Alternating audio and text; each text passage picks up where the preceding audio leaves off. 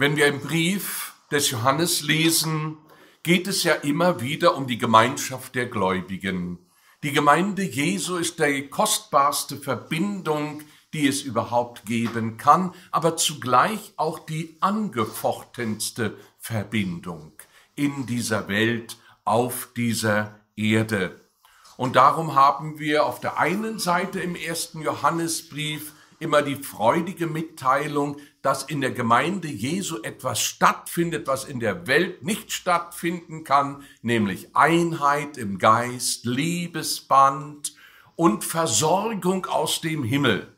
Aber auf der anderen Seite auch die Mahnung, wachsam zu sein, dass nicht das Wesen dieser Welt Einfluss nehmen kann auf diese wunderbare, herrliche Gemeinschaft der Kinder Gottes. So haben wir es ja im vierten Kapitel auch gelesen, dass die Geister geprüft werden sollen, ob sie wirklich aus der Gemeinde Jesu durch den Heiligen Geist hervorgehen in mancherlei Handhabungen oder ob es der Weltgeist ist, der sich verstellt als ein Geist des Lichtes.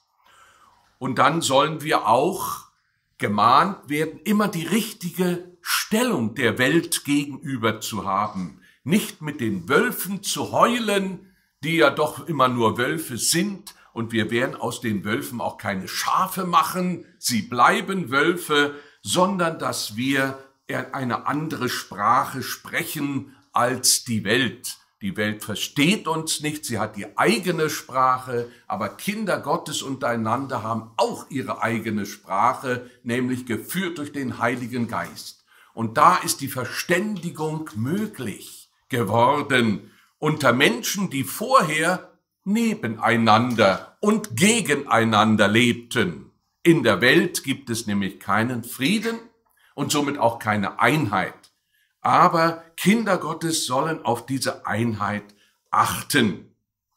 Und das Band der Liebe sollen sie immer wieder zulassen, was sie umschlingt und zusammenhält, damit nicht ein Schaf abgesprengt wird von der großen Herde und vielleicht mitten in dem Weltgetümmel dann niedergedrückt wird. Und in dem heutigen Abschnitt, ich lese da nochmal den zwölften Vers mit, den wir ja schon äh, letzte Mal behandelt haben, bis 21 dann, geht es darum, um die Gewissheit. Gott ist immer mit uns. Er bleibt bei den, bei seinen Kindern. Die Gotteskindschaft ist fest versiegelt. Und nun lese ich diese Verse ab Vers 12 Niemand hat Gott jemals gesehen. So wir uns untereinander lieben, bleibt Gott in uns und seine Liebe ist völlig in uns. Und daran erkennen wir, dass wir in ihm bleiben und er in uns, dass er uns von seinem Geist gegeben hat. Das ist wichtig, die Betonung, sein Geist ist die Garantie, ja, der Verbindung. Und wir haben gesehen und zeugen, dass der Vater den Sohn gesandt hat zum Heiland der Welt. Wer nun bekennt, dass Jesus Gottes Sohn ist, in dem bleibt Gott und er in Gott. Und wir haben erkannt und geglaubt die Liebe, die Gott zu uns hat. Gott ist Liebe. Und wer in der Liebe bleibt, der bleibt in Gott und Gott in ihm. Darin ist die Liebe völlig bei uns, dass wir uns eine, wir eine Freudigkeit haben am Tag des Gerichtes. Denn gleich wie er ist, so sind auch wir in dieser Welt. Furcht ist nicht in der Liebe, sondern die völlige Liebe treibt die Furcht aus. Denn die Furcht hat Pein. Wer sich aber fürchtet, der ist nicht völlig in der Liebe. Lasst uns ihn lieben, denn er hat uns zuerst geliebt. So jemand spricht, ich liebe Gott und hasst seinen Bruder, der ist ein Lügner. Denn wer seinen Bruder nicht liebt, den er sieht, wie kann er Gott lieben, den er nicht sieht? Und dies Gebot haben wir von ihm, dass wer Gott liebt, dass der auch seinen Bruder liebe. Also die kostbare Gemeinschaft der Kinder Gottes soll nicht nur akzeptiert werden, sondern auch immer wieder gesucht werden und gehalten werden. Es kommt also auf jeden dabei an. Nicht, ob ich jetzt nur bloß geliebt werde, sondern ich muss auch den anderen lieben. Ich muss auch das meine dort geben, was Gott gegeben hat. Der himmlische Vater hat uns in die innige Beziehung gesetzt zu ihm, dass wir Gottes Kinder heißen dürfen, dass wir Kinder des himmlischen Vaters sein dürfen, durch seinen Geist in uns. Nicht unser Geist, der für Gott ist, sondern sein Geist in uns ist für Gott. Ja, nicht unser Geist, der ist gar nicht für Gott. Aber nur Gottes Geist in uns ist für den Geber des Geistes. Durch diesen Geist erhob uns der Herr in die Stellung eines Kindes des zum Vater, die Stellung, die Jesus Christus als der Heiland, der Versöhner uns bewirkt hat. Der Apostel Johannes will diese Kostbarkeit ein ewig gerettetes Kind Gottes zu sein, aufzeigen. Die Furcht soll aus dem Leben der Kinder Gottes ein für allemal raus. Da ist kein Platz mehr für Angst, für Furcht, sondern da ist Platz für Gewissheit.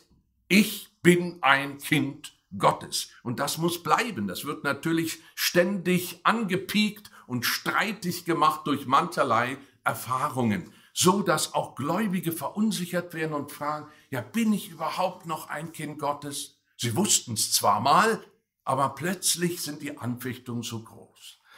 Es soll uns gesagt werden, wenn du ein Kind Gottes bist, dann bleibst du auch ein Kind Gottes. Beruf dich auf die Erlösung in deinem Heiland. Allerdings, die Gotteskindschaft soll nicht genutzt werden, zu einem Freibrief, dass ich sage, Hauptsache ich bin Gottes Kind, dann kann ich ja machen, was ich will. Ist kein Freibrief zur Sünde. Nein, wir können nicht machen, was wir wollen, sondern wir tun das, was der himmlische Vater sagt. Gottes Kindschaft ist eine heilige Verpflichtung. Das heißt, Gott ehren durch die ständige, dankbare Bejahung des neuen Zustandes in ihm. Wir schauen nicht zurück auf den alten Zustand als Kinder Gottes. Wir danken jeden Tag für den neuen Zustand. Und wir wollen den neuen Zustand nicht nur einmal sehen, sondern gefestigt sein darin und auch darin leben. Wer ein Kind Gottes ist, bleibt ein Kind Gottes. An dieser Stelle soll die erneute Unsicherheit äh, über die Errettung und die erneute Furcht äh, vor dem göttlichen Gericht entgegengetreten werden. Hier soll gesagt werden, lass dich nicht verunsichern. Bist du ein Kind Gottes, dann bleibst du ein Kind Gottes. Bist du ein Kind Gottes, dann kommst du nicht ins Gericht. Dann fürchte dich nicht vor dem Gericht. Die Bestätigung lautet wiederholt Vers 12, Vers 15, Vers 16, der bleibt in Gott und Gott in ihm. Ja, der bleibt in Gott, wenn er ein Kind Gottes ist. Er ist es ja nicht nach dem äußeren Menschen geworden.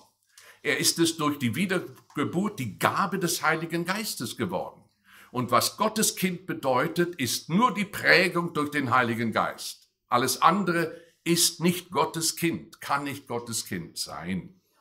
Und hier ist die Gewissheit und die, der Schwerpunkt, der hier auch ausgedrückt wird in dem Johannesbrief, weil ja zu damaliger Zeit und auch zur heutigen Zeit diese Gläubigen angefochten werden. Wir denken einfach an die Verfolgung auch unter den ersten Christen, unter Nero im, im römischen Reich, was da alles geschah. Bin ich denn ein Gotteskind? Oder denken wir an die Aussage der Thessalonicher. Da waren einige gestorben aus der Gemeinde. Und ja, was ist denn nun passiert? Bin ich jetzt ein Gotteskind? Oder sind die anderen die Gotteskinder, die Gott schon zu sich genommen hat? Ich bin übrig geblieben für das Gericht. Das sind ja alles Fragen, die ja durch die Jahrtausende gegangen sind bis zum heutigen Tag. Ja, auch Kinder Gottes kommen im Erdbeben um. Kinder Gottes werden auch erschossen. Kinder Gottes ertrinken und vieles andere in dieser Welt. Sie werden gepeinigt. aber sie sind Kinder Gottes. Das Äußere ist nicht ein Anzeichen dafür, dass sie plötzlich keine Kinder Gottes mehr sind. Und auch uns kann das so gehen, dass uns der materielle Boden unter den Füßen weggezogen wird. Aber ich bleibe dann trotzdem ein Kind Gottes. Ja, das soll ganz fest in uns sein. Da soll die Liebe Gottes pulsieren und die Furcht einfach rausgehen, ja? Ein Punkt, Stichwort Versiegelung. Nach der Buße über unser Sündenleben, über das, was alles verkehrt war in den Augen Gottes, was wir vielleicht auch noch nicht mal so richtig mitbekommen haben, nachdem wir dann unser Ja zum Herrn gegeben haben, du bist der Einzige, der mich verändern kann, und ich danke dir, dass du am Kreuz den Preis zur Erlösung bezahlt hast. Nachdem das geschehen war, gab Gott sein Ja-Wort auch zu uns. Und zwar durch die Gabe des Heiligen Geistes. Das ist sein Ja-Wort. Er hat Wohnung gemacht. Ja, ich komme zu dir durch meinen Geist. Das ist sein Ja-Wort zu mir, zu allen Kindern Gottes. Diese Gabe bleibt bei den Kindern Gottes und führt sie in der Erkenntnis der Wahrheit Schritt für Schritt voran und befähigt sie am Glaubenswerk stehen zu können. Nur durch diese Gabe, nur durch dieses Ja-Wort Gottes im Heiligen Geist. Anders ist das Werk des Herrn überhaupt nicht führbar. Und anders ist auch die Erkenntnis, die Wahrheit überhaupt nicht möglich. Diesen absoluten Wert, das ist mir persönlich so wichtig, aber es soll uns als Gemeinschaft der Gläubigen auch wichtig sein, müssen wir immer wieder erkennen. Wir haben nichts in die Welt gebracht, wir bringen nichts hinaus. Auf uns kommt es überhaupt nicht an, sondern auf das, was Gott tut, was er in meinem Leben tut und tun will, durch seinen Geist, durch sein Ja-Wort. Nicht? Wir kennen ja dies, wenn man eine Ehe schließt, dann sollen ja beide Ja sagen. Wenn nur einer Ja sagt, na ja, dann kommt nicht viel Gutes dabei heraus. Aber man fragt ja jeden, man fragt die Frau und den Mann, nicht? Willst du diesen anderen haben? Das musst du jetzt mit Ja bezeugen. Kannst du nicht einfach nur im Kopf nicken irgendwie, weiß man nicht, ob du es geschüttelt hast oder genickt hast, ja? Das musst du sagen. Ja, ich will den. Nicht? Und so haben wir Ja gesagt, Herr Jesus, ich will dich. Und Gott sagt, ja, ich will dich auch. Und ich gebe dir meinen Geist. Und mein Geist ist die Garantie, dass du bei mir bleibst. Sonst kannst du gar nicht bei mir bleiben. Einige Stellen zeigen uns ja deutlich, dass das Handeln vor Gott in dieser Welt und die Sicherheit in unserem Herzen nicht aus der Gemeinschaft Gottes zu fallen, in dieser Gabe Gottes des Heiligen Geistes liegt. Der Herr Jesus hat diesen anderen Tröster verheißen und hat gesagt, der bleibt bei euch, ja? In Römer 8, Vers 9, da steht zum Beispiel, ihr seid doch nicht fleischlich, weil der Geist Gottes in euch wohnt. Das ist die Garantie. Er wohnt doch in euch, ja? Und in Vers 11 desselben Kapitels, eure sterblichen Leiber werden lebendig gemacht, geheiligt durch den Heiligen Geist, durch den Geist Christi, der in euch wohnt. Mit anderen Worten, eure sterblichen Leiber können nichts Gutes veranstalten. Wenn nicht der Geist Christi diese wieder in eine Richtung bewegt, wo die gar nicht hin wollten. Zu Taten bewegt, was die nie machen wollten.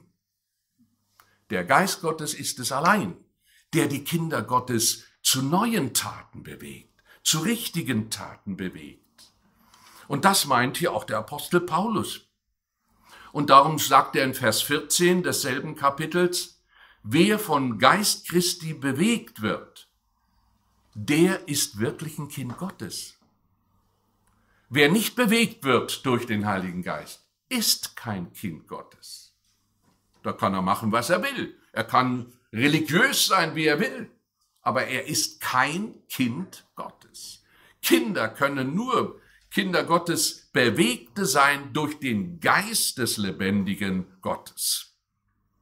Und im Vers 23 desselben Kapitels heißt es dann, wir haben des Geistes Erstlinge, das nämlich das Sehnen nach der Gotteskindschaft. Das steht hier im Verhältnis auch mit der Schöpfung, die sich ja sehnt nach der Erlösung. Und auch wir haben eine Sehnsucht, die wir vorher nicht kannten, die Gotteskindschaft in allen Umfängen zu erleben. Und die erleben wir dann im ganzen Umfang, wenn wir das Störende, nämlich unseren Leib, ablegen. Der stört uns immer. Bei dieser Erfahrung, was ein, eine gesamte Gotteskindschaft bedeutet, ja, weil der Leib immer etwas anderes möchte, der ist sehr erdgebunden und will überhaupt nichts vom Himmel in Wahrheit wissen. Wer also Christi Geist hat, bleibt in Gott und kann nicht mehr von der Erlösungsgnade getrennt werden. Gott hat sein Ja-Wort gegeben. Und deswegen freuen wir uns ja auch immer über die Ehen, die lange halten. Da sieht man, also das heißt ja nicht, dass da überhaupt keine Vorkommnisse waren, die so eine Ehe hätten auseinanderbringen können. Aber das Ja-Wort war so echt und tief, dass immer der Zusammenhalt wieder neu gesucht worden ist. Und so ist das auch mit der Gotteskindschaft. Gottes Ja-Wort ist so tief, dass er bei meinem Versagen trotzdem sein Ja-Wort behält und sagt, so, ich äh, stell dich wieder auf die Füße. Ja? Das müssen wir einfach auch für uns ganz persönlich neu sehen. Wer Christi Geist hat, bleibt in Gott und kann von der Erlösungsgnade nicht getrennt werden. In Johannes 10 sprach das der Herr Jesus vor seinem Leiden schon aus, indem er ja doch die Zuhörer trösten wollte und ihnen auch und auch die, die Jünger trösten sollen, die plötzlich ganz entgegen dem religiösen Verständnis in Israel einen neuen Weg gingen. Ja, lohnt sich denn das? Fallen wir da nicht wieder auf die Nase? Was sagt der Herr Jesus? Nein, nein. Was du jetzt dann erlebst, das wird wirklich fest sein. Ich gebe ihnen, meine Schafe, das ewige Leben. Sie werden nimmermehr umkommen. Ich gebe ihnen das ewige Leben. Und niemand wird sie mehr aus meiner Hand reißen. Niemand. Der Vater, der sie mir gegeben hat, ist größer als alles. Alles in der Welt, ja. Und niemand kann sie aus meines Vaters Hand reißen. Das ist ein Zuspruch, der auch den Jüngern damals gegeben worden ist, damit sie auch weiter gewisse Tritte in dieser Zeit tun. Dass sie nicht erschrecken, wenn plötzlich was Arges, was Böses auf sie zukommt. Und dann plötzlich sagen, na wahrscheinlich habe ich noch nie zu Gott gehört, weil ich im Gefängnis sitze, weil ich geschlagen werde. Gott hat mich verlassen, wenn es überhaupt einen Gott gibt. Das darf und soll niemals aufkommen. Nein, wo ich auch bin. Das sehen wir auch in diesem guten Beispiel von Paulus und Silas. Paulus und Silas, die ja dann das, den Ruf hatten, nach Europa zu kommen, das Evangelium zu verkünden. Und als sie das so einfach getan haben, tja, da wurden sie geschlagen nicht, und wurden ins Gefängnis gesteckt, weil sie in Vollmacht etwas sagten und taten und waren in der Ecke, wo es am dunkelsten ist, nass, kalt. Und dann fingen sie an, Gott zu loben, weil sie ja Gotteskinder waren. Ja, das Gefängnis konnte ihnen ja nicht signalisieren, pass mal auf, wahrscheinlich hast du dich geirrt, du bist gar kein Gotteskind. Nein, sie fingen an zu loben und zu danken. Und Gott bekannte sich zu seinem Ja-Wort und machte die Türen auf. Die Ketten fielen ab. Ja?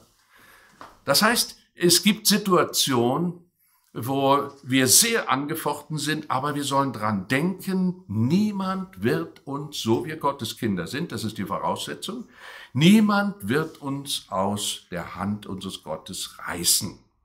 Das betonte ja der Apostel Paulus auch nochmal im achten Kapitel des Römerbriefes, aus dem wir ja eben schon mal was gelesen haben. Und das spricht er von diesem Ja-Wort, von dieser Liebe, in Vers 35 und dann Vers 38 erst diese Frage, wer will uns scheiden von der Liebe Gottes. Wer will das? Er spricht ja jetzt nicht von denen, die noch gar nicht in der Gegenwart Gottes sind, die keine Kinder Gottes sind, sondern er spricht von denen, die die Kindschaft empfangen haben. So können wir auch in Vers 23 lesen, dass wir die Kindschaft bekommen haben und warten auf die Erlösung unseres Leibes. Wer will uns von der Liebe Gottes sein? Kann das Trübsal, Angst, Verfolgung, Hunger, Blöße, Fährlichkeit oder Schwert? Nein. Vers 38, ich bin ganz gewiss, dass weder Tod noch Leben, weder Engel noch Fürstentümer noch Gewalten, weder Gegenwärtiges noch Zukünftiges, weder Hohes noch Tiefes, keine andere Kreatur kann uns scheiden von der Liebe Gottes, die in Christo Jesu ist, unserem Herrn. Das sind so feste Worte, die uns ermutigen sollen, auch in der Jetztzeit uns als Kinder Gottes zu erkennen und so leben zu wollen. Gleich was um uns herum geschieht. Ja, wir brauchen uns damit gar nicht so stark zu beschäftigen. Aber damit beschäftigen, dass wir Kinder Gottes sind und danach leben wollen. In Jesus Christus sind wir geheiligt. Und nicht nur das, sondern auch bewahrt. Geheiligt durch Golgatha, Vergebung der Schuld, aber auch bewahrt auf die himmlische Zukunft, auf den Himmel, den wir einst einnehmen dürfen. Judas schrieb ja in seinem Brief im ersten Vers, er spricht ja die Adressaten so an, den Berufenen schreibe ich, die geheiligt sind in Gott, dem Vater, und bewahrt in Jesus Christus. Zu denen hat er dann geschrieben, ja. Er bezeichnet sie genau als solche. Ihr seid geheiligt und ihr werdet bewahrt. Die Erkenntnis, dass wir in Gott sind und bleiben, liegt also darin, dass wir seinen Geist empfangen haben. So haben wir es in Vers 13 auch gelesen. Daran erkennen wir, dass wir in ihm bleiben und er in uns, dass er uns von seinem Geist gegeben hat. Daran erkennen wir das. Wenn er uns nicht von seinem Geist gegeben hat, würden wir das nicht erkennen. Aber daran erkennen wir das, dass wir in ihm bleiben. Sein Geist hat uns lebendig gemacht, das heißt zum Leben aus Gott befähigt. So steht es auch in Johannes 6, Vers 63, wo der Herr sagt, ja, das Wort tötet, nur der Geist macht lebendig zum wahren Leben. Der Geist macht lebendig. Das ist der Geist Gottes, nicht irgendein Geist, sondern der Geist Gottes. Sein Geist hat uns für immer auch versiegelt, versiegelt, ja, so einen wirklichen festen Stempel aufgedrückt. Dieses Siegel kann keiner brechen. Das hat Gott selbst gegeben. Wir merken also, uns persönlich ist das ja alles aus der Hand genommen. Ja, ich kann nicht sagen, na ja, das lag jetzt an mir, weil ich mich bekehrt habe. Na ja, du kannst dich bekehren, aber wenn Gott sein Ja nicht dazu gibt, dann nützt dein Wille auch nichts. Sondern sein Stempel ist wichtig, dass er den mir aufdrückt. Und so lesen wir das ja auch im Epheserbrief, Kapitel 1, 13, 14. Das ist ja ein ganz langer Satz. Wenn ihr den mal ab Vers 3 liest, das ist ein Satz, Vers 3 bis 14. Kann man so in einem Satz lesen. Aber Vers 13 steht, durch ihn habt ihr ja gehört das Wort der Wahrheit, das Evangelium von eurer Seligkeit, durch welchen ihr auch, da ihr gläubig wurdet, versiegelt worden seid mit dem Heiligen Geist der Verheißung, der das Pfand unseres Erbes zu unserer Erlösung ist, dass wir sein Eigentum würden zu Lob seiner Herrlichkeit. Versiegelt. Und niemand kann dieses Siegel brechen, das Gott aufgedrückt hat. Sein Geist ist die Sicherheit zum Erbe im Himmel. Dadurch wissen wir, dass wir ein himmlisches Erbe haben, auch Kolosse 1,27. Dieser segnende Hinweis, Gott bleibt in uns, soll dazu dienen, nicht erneut in Gedanken der Traurigkeit und Hoffnungslosigkeit zu versinken. So wie die Welt in Traurigkeit ständig und Hoffnungslosigkeit versinkt. Denn als Apostel Paulus auch an die Gemeinde zu Thessalonich schrieb, machte er gerade diesen Zusatz in 1. Äh, Thessalonicher 4, Vers 13. Da ging es ja um das Geheimnis, also der Entrückung. Aber er leitet das so ein und sagt, wir wollen euch aber, liebe Brüder, nicht verhalten von denen, die da schlafen. Warum wollen wir das nicht? Auf dass ihr nicht traurig seid wie die anderen, die keine Hoffnung haben. Keine Hoffnung. Ihr sollt nicht traurig sein wie die anderen, die keine Hoffnung haben. Im Gegenteil, ihr sollt in dem Bewusstsein des Lebens stehen und bleiben, dass Gott durch die Versiegelung im Heiligen Geist euch gegeben hat. Wir sollen also in der inneren Befreiung durch Christi Blut und die Rechtfertigung durch seine Auferstehung von den Toten leben und stehen und das jeden Tag. Das jeden Tag. Gleich ob unser Haus zusammenfällt, in dem wir wohnen. Wir sollen in der Hoffnung bleiben, weil der Geist des himmlischen Vaters in uns ist und das Leben signalisiert und offenbart und uns immer wieder tröstet. Wir sollen wissen, dass wir nicht untergehen, sondern schon jetzt in dieser Zeit beginnend ewig mit dem himmlischen Vater leben. Wir leben schon auf Erden mit dem himmlischen Vater, der auch vers versprochen hat, uns zu versorgen, so wie es der Herr Jesus ja sagt sorgt nicht. Das überlass mal mir. Ja, das mache ich schon. Du bist doch mein Kind, Kind des himmlischen Vaters. Wir sollen also nicht wieder da rein verstrickt werden. Ein zweites, das Glaubenszeugnis, dass der Geist Gottes in uns wirkt. Johannes erinnert daran, welche Glaubensäußerung die Gottes Kindschaft in uns bewirkt hat und deshalb der himmlische Vater mit uns in Verbund getreten ist und bleibt. Keine Zeit, weder freudige Zeiten noch Anfechtungszeiten sollen uns nötigen, anders zu leben als eben als Gotteskind. Anders zu leben als ein Gotteskind. Fünf Glaubensäußerungen haben sich in uns durch den Heiligen Geist gezeigt haben Wirkung in unserem Leben genommen und zeigen uns, dass wir nicht mehr von der Welt, sondern von Gott sind. Wir sind nicht mehr von der Welt. Wir stimmen genau in das ein, was Jesus in Johannes 17 sagt, in seinem Gebet, Vater, diese, die zu mir gehören, sind nicht mehr von der Welt. So wie ich auch nicht. Und das merken wir. Das ist auch ein Zeugnis durch den Heiligen Geist, dass wir gar keinen Anteil haben mit dem Wesen dieser Welt.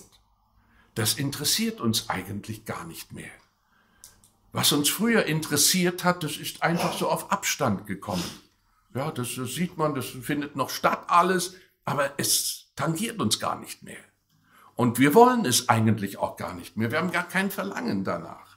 Das ist also auch ein wichtiges Zeugnis wir gehören zu dem Ewigen, zu den ewigen Dingen und nicht zu den zeitlichen Dingen. Die ewigen Dinge haben Priorität genommen in unserem Leben. So wie es ja auch nicht denkbar ist in einem Beispiel, dass zum Beispiel ein Bäckermeister, der alle Grundmittel hat, um Brot zu backen, und andere Menschen oder auch andere Teigwaren, andere Menschen damit zu segnen, dass sie gesättigt werden, dass der vielleicht dann die Frage stellt, was werde ich essen? Das ist unmöglich. Der hat alles, er backt und verkauft das oder gibt es den Leuten und dann wird er nie die Frage stellen, ja, was soll ich denn essen? Er hat doch alles. Und so ist das in der Gotteskindschaft auch. Wir gehören zu den ewigen Dingen und nicht zu den zeitlichen Dingen. Wir haben nicht die Fragen, was wird daraus, sondern wir haben sie ja, die ewigen Dinge, durch den, das Ja-Wort des himmlischen Vaters. So soll es also nicht denkbar sein im Leben der Kinder Gottes, dass äh, die Grundvoraussetzungen zum Leben im Himmel, die da vorhanden sind, erneut nachgefragt werden. Nachgefragt werden, ja. Ob ich ein Erretteter bin oder nicht. Das soll nicht vorkommen, denn ich weiß, ich bin erlöst. Da können ja alle sagen, du bist es nicht, ich weiß es trotzdem. Ja, und da soll nie das vorkommen, dass ich jetzt frage, ja, erlöst, ja, ich kenne viele, bin ich aber wirklich erlöst? Das soll nie aufkommen können. Die Glaubenszeugnisse lauten also, einige nenne ich, der Vater hat den Sohn als Retter in die Welt gesandt. Vers 14 haben wir das gelesen. Wir haben gesehen und zeugen, dass der Vater den Sohn gesandt hat zum Heiland der Welt. Das ist ein Zeugnis, das wissen wir, ja? Das wissen wir einfach. Und zwar diese Verheißung von 5. Mose 18, 15 und weitere, wo auch Mose sagt, einen Propheten wie mich wird äh, Gott senden und der, den müsst ihr hören, der wird zur Erlösung gesandt und wer ihn nicht hört, der wird schuldig sein. Oder im Psalm 130, Vers 7 und 8, wo es heißt ja auch von Israel, es kommt der Erlöser. Ja, ihr braucht den Erlöser. Und die Jünger haben das dann gesagt in Johannes 6, Vers 69, wir haben geglaubt und erkannt, dass du Christus bist. Das haben wir gesehen, der Sohn Gottes. Das ist das Zeugnis, was der Heilige Geist in den Kindern Gottes ausspricht. Und ein zweites Glaubenszeugnis, Jesus ist nicht nur ein Prophet, sondern er ist der Sohn Gottes. Vers 15. Wer nun bekennt, dass Jesus Gottes Sohn ist, in dem bleibt Gott und er in Gott. Und dieses Bekenntnis haben wir auch. Wir wissen, dieses Bekenntnis wird sehr streitig gemacht, nicht? Von vielen, die sagen, nein, Jesus ist nicht Gott, ja, nicht Gottes Sohn, er ist ein Prophet, ja, aber er ist nicht Gott. Doch wir haben erkannt und geglaubt, dass er Christus ist, der Sohn Gottes. Der Apostel Paulus hat das ja auch äh, bestätigt und äh, in dem Brief an die Korinther, 2. Korinther 5, Vers 19, sagt er ganz deutlich, Gott war in Christus. Gott versöhnte die Welt mit sich selbst in Christus.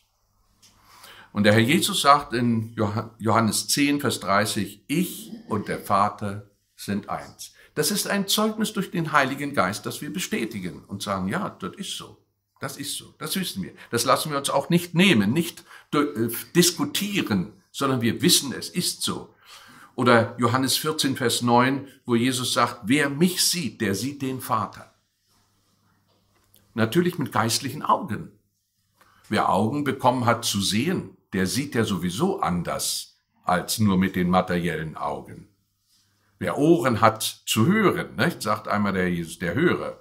Wer geistlich hören kann, der hört anders als jemand, der nicht zu Gott gehört. Also das äh, bestätigt der Heilige Geist in uns, das wissen wir. Darum konnte auch Thomas, Zwilling genannt, als er oder Jesus ihm begegnete, als der Herr ja auferstanden war, Erst hat Thomas nicht geglaubt, aber dann hat er das gesehen und dann sagt er die zwei Worte, du bist mein Herr, mein Gott, mein Gott, du bist Gott. Und dieses Bekenntnis ist nur durch den innewohnenden Geist, den der Herr gibt, den Gott gibt, möglich. Ein weiteres Glaubenszeugnis, wir haben in Vers 16 gelesen, wir haben erkannt und geglaubt die Liebe, die Gott zu uns hat. Gott ist Liebe. Das haben wir erkannt. Wir haben gemerkt, das ist Liebe, was uns begegnet ist. Wir wissen, dass unsere Erlösung nicht aus dem Rechtsdenken Gottes, des Schöpfers, gekommen ist. Ich will einfach Recht haben und deswegen muss ich jetzt mal hier etwas unternehmen, damit das Unrecht gestraft wird. Nein, das ist wohl in dem Opfer zu sehen, dass wir gerechtfertigt werden, aber er hat es getan aus Liebe. Und das haben wir erkannt. Gott liebt mich. Deswegen, er hat schon immer geliebt, so wie es auch im Propheten Jeremia 31 steht, Vers 3, schon äh, zu Israel und weiter noch gedacht, ich habe dich je und je geliebt. Darum habe ich dich zu mir gezogen. Also nicht aus Rechts, Rechtsdenken, sondern aus Liebe. Und das haben wir auch erkannt, ja? Oder in Epheser 2, Vers 4, durch seine große Liebe, mit der er uns geliebt hat, hat er uns erlöst. Das haben wir erkannt. Also deswegen fühlen wir uns so richtig umsorgt und geliebt, ganz persönlich, auch wenn alle anderen uns nicht lieben, aber ich weiß, Gott liebt mich, weil er das aus Liebe getan hat. Und natürlich dieser Schlüsselvers, den kennen wir ja auch alle, Johannes 3, Vers 16, so sehr hat Gott die Welt geliebt. Da können wir erstmal eine ganze Weile drin verharren und dann sehen wir, was dadurch geschehen ist. Nicht durch ein Rechtsdenken, sondern ein Lieben. Und das ist genau das Zeugnis, von dem Johannes hier auch spricht. Das haben wir erkannt und geglaubt, die Liebe, die Gott zu uns hat. Hat uns einfach so angenommen, aus Liebe. Und dieses Zeugnis beweist in uns, dass wir mit Gott Gemeinschaft haben, wo wir das erfahren haben. Das kann nur aus der Gemeinschaft mit Gott entstehen. Deshalb ist ein Leben in der Freude als Kind Gottes zu jeder Zeit möglich. Und noch ein weiteres Glaubenszeugnis, dass wir befreit sind vor, von der Furcht vor dem ewigen Gericht. Vers 17 und 18 haben wir ja da gelesen, darin ist diese Liebe völlig bei uns, dass wir eine Freudigkeit haben am Tag des Gerichtes. Eine Freudigkeit. Denn wir sind in der Welt, wie Jesus auch war. Aber wir fallen nicht, weil wir noch hier in der Welt sind, dem Gericht anheimen später. Wir haben eine Freudigkeit.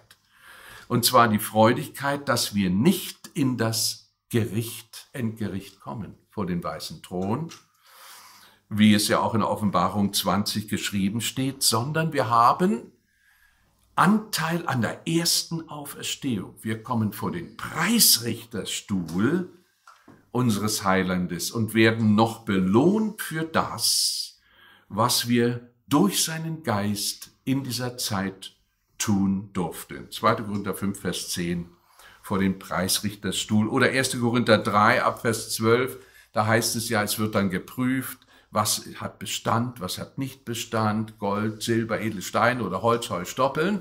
Ja, das wird alles äh, durch das geistliche Feuer geprüft, was Untaugliches raus, was Taugliches bleibt bestehen. Und nehmen wir mal an, dass auch ein Kind Gottes tatsächlich sich verleiten ließ, immer mit Holz zu arbeiten, statt mit Gold. Dann wird die Seele doch selig wie durchs Feuer.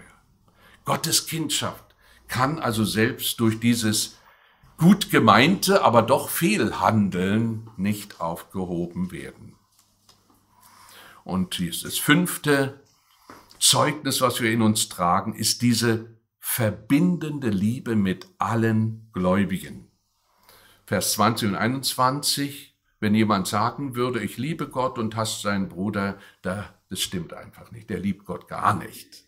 Ja, das ist ein Lügner. Wer aber seinen Bruder liebt, den er ja sieht, der liebt auch Gott. Und wer ihn nicht liebt, den er sieht, kann er Gott nicht lieben, den er nicht sieht. Das ist aber das Gebot, dass wir von ihm, dass wer Gott liebt, auch die Glaubensgeschwister liebt. Das ist auch ein Zeugnis. Wie können wir, die wir unterschiedlich sind in der Gemeinde Jesu, miteinander überhaupt leben? Ich habe das öfter mal hier betont. Ich bin davon fest überzeugt, wenn wir keine Kinder Gottes wären, würden wir gar nicht hier sitzen zusammen. Weil jeder in seinem weltlichen Leben hat seinen Privatbereich. Ach, nur den will ich ja gar nicht. Ich habe mein Hobby hier. Nicht? Und wenn der nicht mit mir das macht, dann ist der sowieso für mich geschieden. Ja? Mit dem habe ich nichts zu tun. Man hat so seine Kreise in der Welt gehabt, wo andere keinen Zutritt hatten. Und man hat sich mit den anderen Leuten noch gar nicht abgegeben. Das ist so. Der Mensch macht das so. Ne? Aber allein dadurch, dass wir Kinder Gottes geworden sind, haben wir eine Verbindung, die wir nie selber gesucht hätten, aber die auch funktioniert. Da kann man plötzlich den leben, lieben, den man vorher separiert hat und weggestoßen hat. Den kann man plötzlich lieben. Ja? Das ist so wunderbar. Das ist auch das Zeugnis der Gotteskindschaft und da sollen wir drin bleiben. Das soll uns zeigen, wir haben den Geist des Vaters bekommen und wir dürfen Gottes Kinder heißen. Und diese Tatsache zeigt uns, dass Gott in uns ist und wir in ihm und wir getröstet sind wir großen Frieden haben und Zeugen dieser Wahrheit sein können.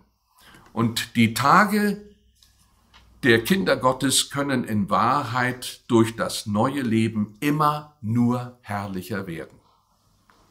Das Leben mit Gott nimmt nie ab, auch nicht in der Welt. Im Gegenteil, immer herrlicher. Je schlechter unser Leib wird, desto mehr tritt die innere Freude hervor, die ja immer noch durch die Aktivitäten des Leibes oft gebremst wird, weil er alles so kann, macht er alles selbst, ja, und so weiter.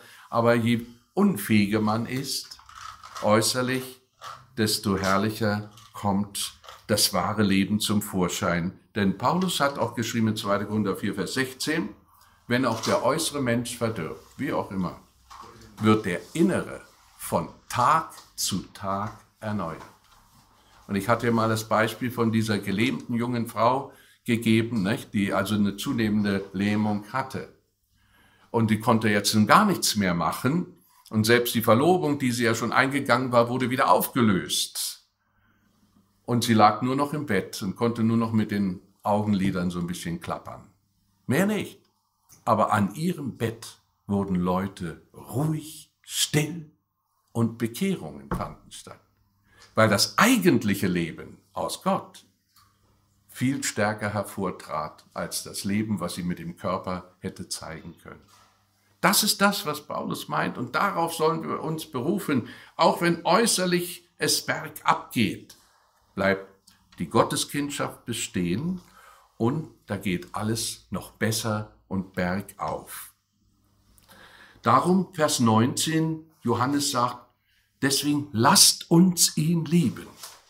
Er hat uns zuerst geliebt. Das will sagen, wir sollen zu jeder Zeit in der Familie Gottes bleiben, darin leben, daraus handeln, weil Gott immer lebt und immer bleibt. Und da zitiere ich nochmal Vers 16b, wo es dann ja heißt, Wer in der Liebe bleibt, einmal das Wort bleiben, der bleibt auch in Gott und Gott bleibt auch in ihm. Ja, das ist so diese Verbundenheit und das soll uns Mut machen, auch in unserer Zeit. Es wird immer in unserem Leben besser, innerlich. Und soweit zu diesen Versen.